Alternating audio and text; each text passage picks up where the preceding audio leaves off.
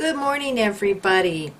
I want to thank everybody so much for sending me all the links and research on this Dr. Massimo Introvigne, whatever his name is. Um, I do want to retract that I called him a Satanist yesterday because I don't know if he is or not.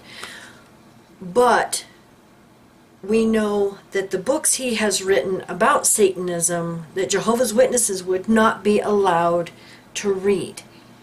And, you know, we've been told many, many times in the literature don't even be curious. Don't be reading anything to do with Satanism. But it's sad that someone like this who has apparently credentials would defend Watchtower and Scientology and all these other cults and they really don't know what they're defending. You know, this guy probably doesn't even know that he's defending Watchtower and them hiding child abuse.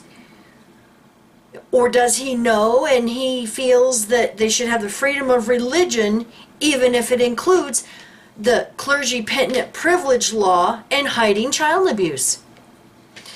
Anyway, I'm going to put the link down below. They actually have an interview with him on jw.org. And uh, uh, a very important point uh, is in technical terms, uh, they are what historians and sociologists call a peace community. They are non-violent and peaceful, and they have never encountered instances of violence. The only relationship between Jehovah's Witnesses and violence is they have been victims of violence. Jehovah's Witnesses are an extremely peaceful community. My goodness. My goodness.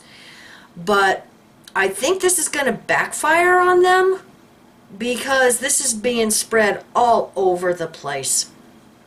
And uh, thank you, Beth. She sent me a link, and I'm going to put that one down below. Um, in their 2019 conference they had back in September, they had a um, discussion about Jehovah's Witnesses and the paradigm of the internet. So, anyway, um, like I said, I'm going to put the link down below. Now, they have this interview, and above it, it says Dr. Massimo Introvigne, the um, and they quote him, the only relationship between Jehovah's Witnesses and violence is that they have been victims of violence. I guess he does not consider child abuse an act of violence. This guy really needs to be enlightened of who he's defending. He is defending a damaging cult that, you know, is hiding child abuse. I wonder how he feels about their no blood transfusion policy and Jehovah's Witnesses dying because of it. My goodness, th this kind of stuff just infuriates me. And they say he's a sociologist and former representative of the OSCE on combating racism, xenophobia, and discrimination.